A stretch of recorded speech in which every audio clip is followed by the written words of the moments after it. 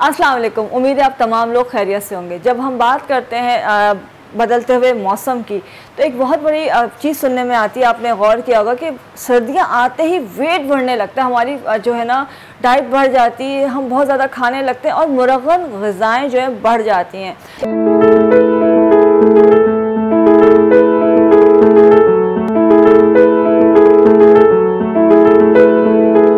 और सबको एक ही शिकायत होती है कि ऐसा क्या हो कि हमारा वेट, हम सब कुछ खाएँ और हमारा वेट ना बढ़े। इसे कि सर्दी में जो ज़ाहिर सी बात है, एनर्जी की नीड ज़्यादा होती है तो खाना भी ज़्यादा खाया जाता है, नट्स भी होते हैं, गाजर का हलवा है, सिरी पाए हैं और इस तरह नहारी है, बहुत बहुत हैवी चीज़ें होती हैं जो कि सर्दियों में खाई जाती हैं। तो वेट तो बढ़ना ही है, लेकिन आज जो मैं आपके लिए एक चीज़ लेके आई हूँ, वो बहुत ही सिंपल एंड बहुत ईजी है। और इसको इस्तेमाल करके, जिस तरह से मैं बता रही हूँ, अगर आप इसको इस्तेमाल करते हैं तो आप अगर हफ़्ते में एक दफ़ा इस तरह कोई हैवी चीज़ खा लेते हैं तो आपका वेट बिल्कुल नहीं बढ़ेगा। ख़ासकर ये जो रेमेडी है, ये उन लोगों के लिए है जो कि शिकायत करते हैं कि जी वेट तो कंट्रोल हो जाता है, टमी हमारी काबू नहीं आती है या बेली फैट जो है वो कम नहीं हो रहा होता है। तो उन लोगों के लिए जिनका जो स्टबन फैट जो होता है स्टक फैट होता है, उसको कम करने के लिए। ये आज की रेमेडी बहुत ही इफ़ेक्टिव है और बहुत ही सिंपल है। उसके अलावा इसकी एक बहुत ही ख़ास बात है और वो ख़ास बात मैं आपको बिल्कुल एंड में बताऊँगी। वो लड़कियों के लिए यूँ समझ लें कि एक ज़बरदस्ती गिफ्ट होगा। और उनको जब उनको इसके बारे में पता चलेगा कि जो आज की रेमेडी है, जो कि वेट तो कम कर ही रही है, लेकिन इसकी एक बहुत ही बहुत ही ख़ास बात है और वो लड़कियों के लिए कितनी फ़ायदेमंद है। जब वो सुनेंगी तो वो कभी भी इसको नहीं छोड़ेंगी। तो पहले चलते हैं हम आज की अपनी रेमेडी की तरफ़ कि इस मौसम में जब हम बहुत ज़्यादा मुरगन गज़ाएँ खा रहे हैं तो हम अपने वेट को कैसे कंट्रोल कर सकते हैं? और स्पेशली जो है, जो हमारा जो फ़ैट है स्टक हुआ हुआ फैट है, जो नहीं कम हो रहा होता है, जैसे लाइक बहुत सारे लोगों का बेली है थाइज़ है बैक फैट है, या आर्म्स का होता है, वो नहीं जा रहा होता है। तो उसके लिए ये बहुत ज़बरदस्त ड्रिंक है।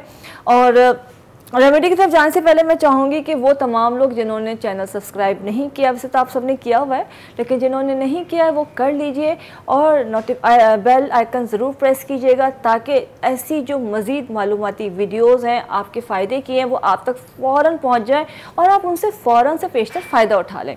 तो चलते हैं आज की रेमेडी की तरफ़। आप मेरे सामने सिर्फ़ सिंपल दो चीज़ें देख रहे हैं। एक इसमें हरा धनिया है और एक इसमें खीरा किकम्बर है। ये दो चीज़ें सिंपल आपने लेनी है, हरा धनिया और किकम्बर इनके बेनिफिट्स आपको साइड में नज़र आ रहे हैं कि इनके जो इनके अंदर कौन कौन से मिनरल्स हैं न्यूट्रिएंट्स हैं, ये सारी चीज़ें आपको स्क्रीन पे नज़र आ रही हैं। लेकिन इन दो के कॉम्बिनेशन से होता क्या है? इन दोनों का तकरीबन आपने हाफ़ खीरा लिया है। और तकरीबन मुट्ठी भर जो है हरे धनिया की पत्तियाँ लेके आपने ब्लेंडर में डालनी है इसके अंदर पानी डालना है तकरीबन एक आ, से डेढ़ ग्लास जो है वो पानी आपने डालना है इसको अच्छी तरह से ब्लेंड करना है। इसको हमने एक्सट्रैक्टर में नहीं डालना इसको पानी के साथ हमने ब्लेंड करना है। और जब ये ब्लेंड हो जाएगा तो ये ऐसा जूस बन जाएगा। और इसके साथ आप कर, अगर टेस्ट अच्छा करना है तो आप इसमें हनी ऐड कर सकते हैं। हनी के लिए ऑरेंज शहद जो ऑरेंज हनी होता है वो बहुत अच्छा है। वो इस्तेमाल करते हैं तो वो आपके वेट के लिए बहुत माविन साबित होता है। इसके साथ साथ अगर आपको सनामन दार चीनी से कोई एलर्जी नहीं है तो एक चुटकी दार चीनी भी डाल सकते हैं ज़रूरी नहीं है। ये जो ड्रिंक है, ये आपने सुबह नहार मुँह पीना है, खाली पेट। आप सुबह उठें, एक से दो गिलास पानी पिया है फ्रेश हुए ब्रश किया देन आपने ये एक गिलास बना के पीना है। इसके आधे घंटे के बाद 20 मिनट के बाद जो एक एग जो है आप बॉयल एग खा सकते हैं ऑमलेट बना के खा सकते हैं, किसी भी तरह से एक से दो अंडे खा सकते हैं। ये आपने करना है। और दोपहर में कोशिश करें कि सैलेड है, दाल है, ये इस्तेमाल कीजिए। रात को जो है एक तो रात का खाना जल्दी खाइए और उसमें आप दो अदद कबाब ले लीजिए या आप जो है ना टिक्का बना लीजिए। इस तरह की कोई चीज़ जिसमें कोई कार्स ना हो। ये आप सिर्फ़ वन वीक करेंगे। वन वीक के अंदर आप देखेंगे कि आपके तकरीबन एक से दो इंचेस कम होते हैं और एक से दो केजी वेट बहुत मज़े से जाता है, जो मैंने बताया अगर इस तरह से फॉलो कर रहे हैं। सर्दियों में पानी का इंटेक बहुत कम हो जाता है। पानी का इंटेक आपने प्रॉपर रखना है कि पानी की कमी नहीं होनी चाहिए। इसलिए कि जब सर्दी होती है तो स्किन ड्राई भी हो रही होती है डिहाइड्रेट हो रही होती है और सर्दी में हम पानी वैसे ही नहीं पी रहे होते कि प्यास नहीं लग रही होती। लिहाजा पानी आपने प्रॉपर पीना है और उसको एज अ मेडिसन पीना है। अब हम आते हैं जो मैंने कहा था कि इसकी ख़ास बात। ये तो वेट कम हो गया। हफ़्ते में करेंगे तो इतना वेट कम होगा जितना आपको करना, सो आप कर सकते हैं। दस दिन के बाद दो से तीन दिन का गैप कीजिए। इसको तमाम लोग पी सकते हैं। इसको प्रेग्नेंट औरतें, ख़वातीन भी पी सकती हैं। उनको कोई नुकसान इससे नहीं होगा। लेकिन प्रेग्नेंट, ख़वातीन को वेट कम नहीं करना चाहिए। वेट कंट्रोल करना चाहिए। वो मैं किसी और वीडियो में बताऊँगी।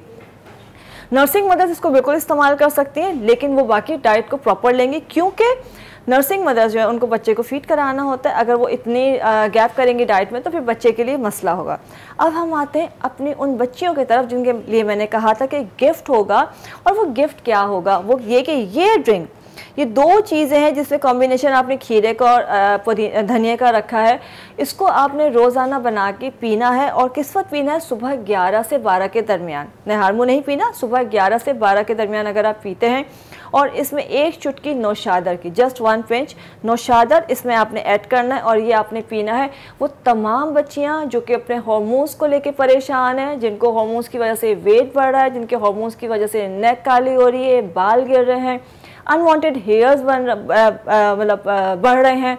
उन तमाम बच्चियों के लिए ख़वान के लिए ये बेहतरीन चीज़ है आप इसको पीना शुरू कीजिए। 40 डेज़ में आपको अंदाज़ा होगा कि आपके हॉर्मोन्स इन ताला बैलेंस होना शुरू हो जाएँगे। और जो तमाम चीज़ें हो रही थी, हॉर्मोन्स की वजह से वो नॉर्मल होना शुरू हो जाएँगी। बीपी का अगर इशू है तो इस्तेमाल कर सकते हैं, कोई मसला नहीं। बीपी में दोनों चीज़ें बहुत ज़्यादा इफ़ेक्टिव होती हैं और खीरे के अंदर वाटर कंटेंट बहुत ज़्यादा होता है। ये आपके बॉडी के अंदर जो है डिहाइड्रेशन भी होने नहीं देगा।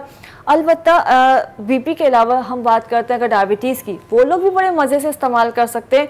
और अगर इसमें हाफ़ करेला भी मिला लें, करेले का जूस भी डालें तो उनके लिए तो बहुत ही ज़बरदस्त नुस्खा बन जाएगा। ये मैं डायबिटीज़ वालों के लिए बात रही हूँ।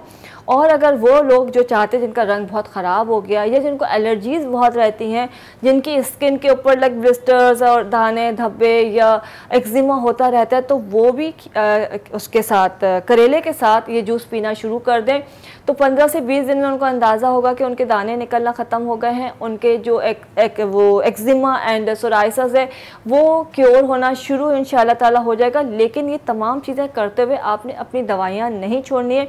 आपकी जो भी मेडिकेशन चल रही हैं, वो आप प्रॉपर करते रहेंगे। उस वक्त तक आप नहीं छोड़ेंगे जब तक आपकी तमाम रिपोर्ट्स क्लियर नहीं हो जाती और आपके जो डॉक्टर हैं कंसल्टेंट हैं, वो आपको कहते हैं कि, जी, अब आपको मज़ीद दवाओं की नीड नहीं है तो इसका आपने ख़ास ख्याल रखना है।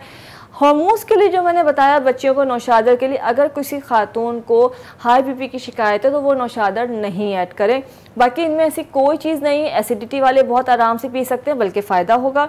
एंड डायबिटीज़ uh, uh, वाले ले सकते हैं हार्ट पेशेंट वाले हार्ट uh, वाले ले सकते हैं किडनी वाले ले सकते हैं। इसमें कोई ऐसी चीज़ नहीं है जो कोई भी इसको इस्तेमाल करते हुए झिझके या अल्लाह ना करे उसको नुकसान पहुँचा सकती है। सिवाय जो है नर्सिंग मदर्स के इसलिए कि इसके साथ मैंने डाइट जो बताई है वो नर्सिंग मदर्स को नहीं करनी है। डायबिटीज़ वाले जो होते हैं, उनकी डाइट डिफरेंट होती है। लिहाजा वो ऐसा गैप ना करें खाने का कि उनके लिए मसला हो जाए।